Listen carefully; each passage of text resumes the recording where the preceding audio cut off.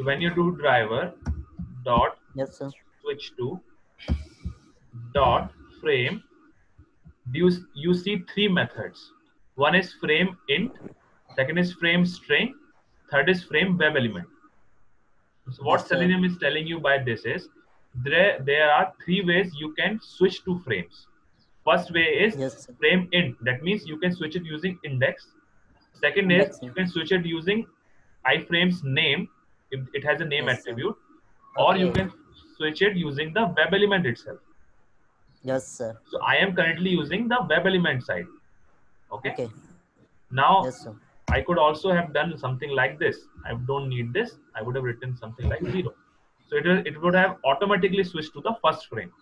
It would it Yes, sir. encountered. Okay. Right now I'm using this frame just for the purpose of explaining things better. Okay. All right. Did I answer the question correctly, Kushal? Yes. Yes, sir. All right. Any more? Any more question regarding this frame switch or this alert switch? Sir, a question over there. Yes. Sir. Uh... Got it. So basically, yes, if you want to fetch the text of okay. any text which is coming inside this box you're going to write yes, alert dot get text. This will give you the text of the alert box. Okay. Okay. So what was originally written here? Okay, it was except.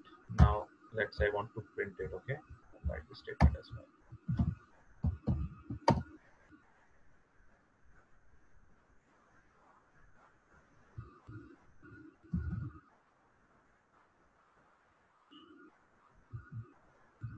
alert fetch the text. All right. Okay. Any more question around uh, alerts? No. All right. So let's now talk about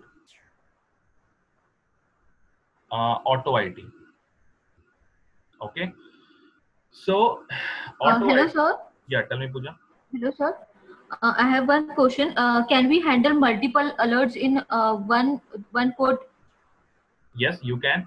So once you do, alerts. Like yes, if you want to, if you want to enter a name, if you want to, uh, like simple alert. If you want to click on OK button also, and if you, if I want to also send some uh, data to the alert, so uh, it is possible.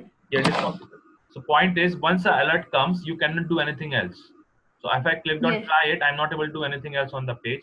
So Yes. once I click on OK, then only I will be able to handle some other pop-up which is appearing. So Yes. one one pop-up at a time can be handled in the same code. sir uh, sir first first of all we have to enter if if if there is one checkbox Mhm. okay if then we have to some uh, then we have to send some keys Okay, so you Like know you know pop-up pop-up uh, doesn't have this kind of things. Okay, pop-up is usually for to okay, yes, no, cancel. That's all it Okay. is. Pop-up doesn't have will, will not have a checkbox. It will not have a text box. Hardly you will see there. It doesn't have So- that, so, that um, feature. okay that is uh, prompt alert like right Yes, this kind just kind of prompt prompt alert. yes, prompt alert. Prompt alerts are the things which will prompt you or it will log the things and, and unless you do okay, yes, no, cancel, something like that. It will hardly will it will not have any checkbox or click box or something. It can have, but it will mostly will not have.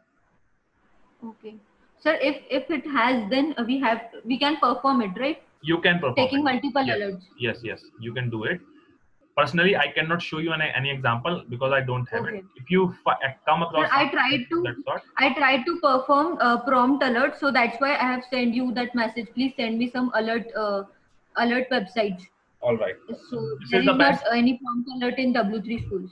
All right. So it's the best example of the alert. Now Okay. the alerts which you are mentioning, wherein you, that you have a checkbox or something, I don't. I have actually personally never seen a JavaScript pop up where you have a checkbox or or a text box or something. Uh, text box I have seen, but checkbox I haven't seen. So if you anyone come across such kind of scenarios, let me know. We'll we'll try to we'll try to solve the problem. But mostly the purpose of these pop-ups are clicking on OK or yes or something like that. All right. Okay.